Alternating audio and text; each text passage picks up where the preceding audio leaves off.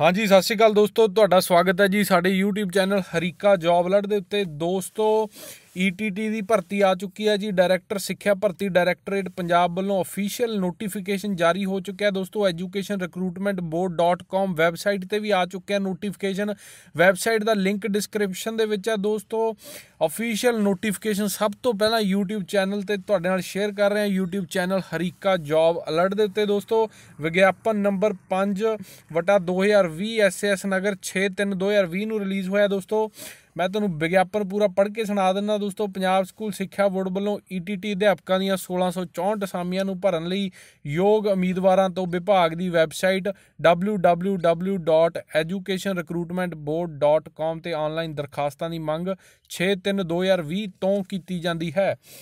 ਇਨ੍ਹਾਂ ਅਸਾਮੀਆਂ ਸੰਬੰਧੀ ਸ਼ਰਤਾਂ ਬਾਨਾ ਵਿਭਾਗ ਦੀ ਵੈਬਸਾਈਟ ਤੇ ਉਪਲਬਧ ਹਨ। ਬਾਰਡਰ ਏਰੀਏ ਦੇ ਜ਼ਿਲ੍ਹਿਆਂ ਲਈ ਜਨਤਕ ਨਿਯੁਕਤੀਆਂ।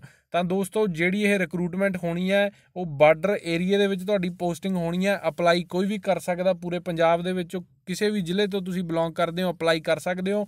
ਬਸ਼ਰਤੇ ਇਹ ਆ ਕਿ ਤੁਸੀਂ ETT ਵਗੈਰਾ ਕੀਤੀ ਹੋਣੀ ਚਾਹੀਦੀ ਆ ਤੇ ਤੁਹਾਡੇ ਜਿਹੜਾ PS ਟੈਟ ਪੇਪਰ 1 ਹੈ ਜਿਹੜਾ ਕੁਆਲੀਫਾਈ ਹੋਣਾ ਚਾਹੀਦਾ, ਇਹਨੂੰ ਅਪਲਾਈ ਕਰਨ ਦੇ ਲਈ।